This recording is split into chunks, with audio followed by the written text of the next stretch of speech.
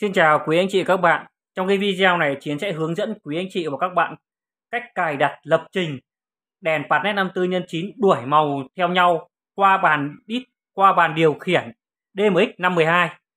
Đấy trên màn hình là quý anh chị và các bạn nhìn thấy các cái đèn nó đuổi màu theo nhau chưa?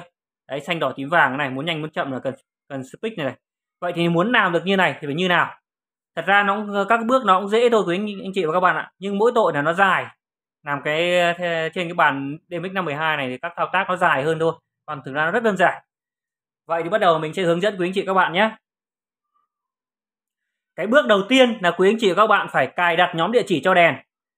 Mỗi một nhóm đèn sẽ từ những một địa chỉ, ví dụ đèn đèn thứ nhất đây, mình sẽ cài đặt địa chỉ A001 đèn thứ hai mình sẽ cài đặt địa chỉ A017 đèn thứ ba là A013 đèn thứ 4 là A049 các quý quý anh chị các bạn có các cái đèn tiếp theo thì quý anh chị cứ cài đặt địa chỉ cách nhau 16 đơn vị nhé cứ cách nhau 16 đơn vị là được, xong rồi cắm nối tiếp vào với ba.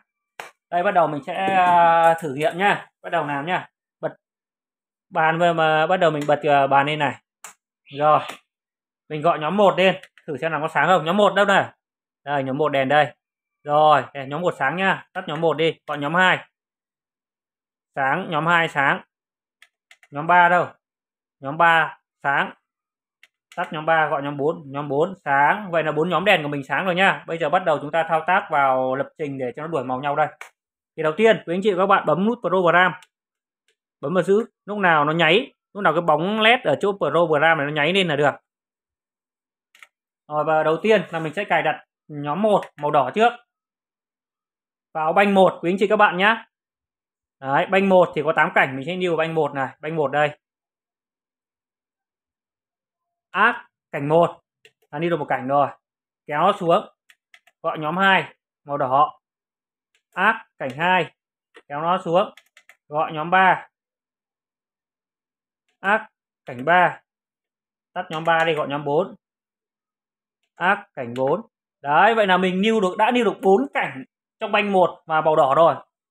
Tiếp khi mình tắt nhóm 4 thì mình lại gọi nhóm ờ, 1 lên. Mình cài là màu xanh lá cây vào cảnh thứ 5 ác cảnh 5 tắt nhóm 1 gọi nhóm 2 ác cảnh 6 gọi nhóm 3 ác cảnh 7 tắt nhóm 3 gọi nhóm 4 ác cảnh 8 sau khi mình đã lưu được ờ, uh, 8 cảnh trong một banh rồi thì bây giờ mình chuyển sang banh thứ hai. Bấm nút lên này. Banh 2 đây. Rồi banh hai lên bây giờ chúng ta lại liền lại làm lại các thao tác như cũ thôi. Đấy lại làm lại các thao tác như cũ thôi. Lại gọi nhóm 1 màu thứ ba. Đấy. Banh hai cảnh 1 tắt nhóm 1 gọi nhóm 2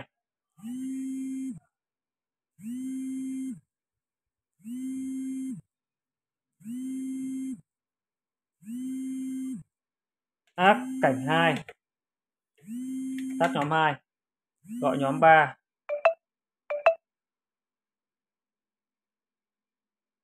ác, cảnh 3 rồi xuống gọi nhóm 4 ác, cảnh 4 rồi, như được bốn cảnh có màu xanh à, dương rồi. Bây giờ chúng ta cho màu trắng hết nhá. Rồi, nhóm 1 gọi nhóm 1 lên. Ác banh uh, hai cảnh năm này. Kéo nó xuống. Tắt đi gọi nhóm 2 lại cho lên. À, cảnh 6 tắt nhóm 2 gọi nhóm 3 à, cảnh 7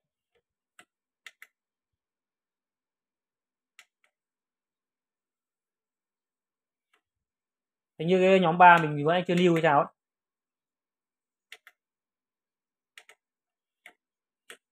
Cho là nhóm 3 rồi nhóm 3 ác cảnh 7 rồi bây giờ gọi nhóm 4 rồi nhóm 4 ác cảnh 8 đấy. Sau khi chúng ta đã lưu được à, hai cái banh và mỗi banh 8 cảnh rồi là có đủ màu xanh lá cây đỏ xanh dương và trắng rồi. Quý anh chị mà muốn tiếp tục lưu các à, màu nữa thì khối màu ba cái cần này này này. Ba cái cần cần hai cần ba cần bốn này này.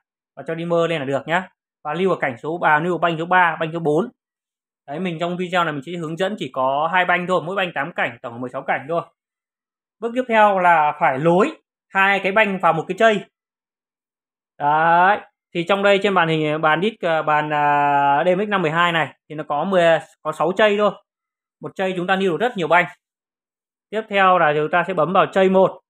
chúng ta đi chơi 1. rồi trên màn hình nó sẽ hiện chữ chơi 1 đây chơi 1 đây rồi bây giờ chúng ta bấm copy. Cho nó về banh một nha bấm nút banh này cho về banh một. Chúng ta bấm copy. Music banh copy này. Copy. Về app thì lập tức cái banh một này sẽ lưu vào chơi một. Đấy, tiếp theo chúng ta chờ cho banh 2 chúng ta lại làm thao tác như vậy. Copy. Add. Thì nó sẽ lưu vào chơi uh, ờ, banh 2 nó lưu vào chơi một luôn. Sau khi đã lập trình xong hết rồi lưu vào chơi một hết rồi. Bây giờ chúng ta thoát ra. Chúng ta bấm nút program trên màn hình nó hiện chữ, nó hiện nút nháy ở chỗ black out là chúng ta bấm black out đây, là thoát. Là thoát cái chế độ lập trình rồi. Bây giờ chúng ta chạy lại các cái chương trình chúng ta vừa cài đặt. Ví dụ đây. Đây, chúng ta đang ở banh một, chúng ta ở banh một này. Một nhóm 1 nhóm 2 nhóm 3 nhóm 3 4 5 6 7 đây. Đấy rồi. Bây giờ chúng ta như nào? Lập trình nó là à cho nó chạy như nào? Chúng ta bấm nút auto này. Đầu tiên là chay một nhá. Bấm nút chay một này. Sau đó bấm nút auto này thôi sử dụng cần speak nó lên khoảng độ 2 giây. Nó tự động đổi màu nhau nhanh chậm là cần speak như này. Đấy, các thao tác uh, nó cũng đơn giản thôi nhưng mà nó hơi dài dòng một chút chút. Làm các thao tác này nó đơn giản nhưng mà nó rất là dài dòng. Đấy vậy là xong rồi quý anh chị các bạn nhé đấy để được uh, tư vấn chi tiết thì quý anh chị các bạn hãy trực tiếp với chiến.